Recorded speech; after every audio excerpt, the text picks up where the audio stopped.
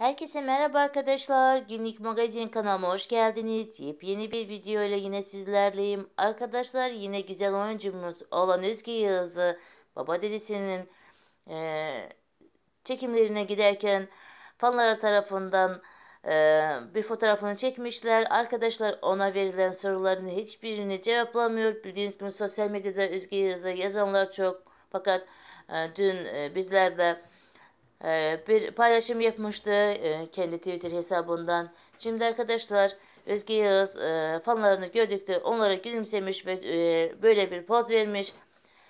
Arkadaşlar biz Gökbek Demirci ve Özge Yağız'ın yeniden bir arada olacağına inanıyoruz. Bildiğiniz gibi dün Gökbek Demirci kendi söylemiş 3 yıllık bir aşk bitemez. İnşallah her şey daha da güzel olacak. Arkadaşlar eğer videomu beğendiyseniz beğen butonuna basmayı ve kanalıma abone olmayı unutmayın. Sağ olun görüşürüz.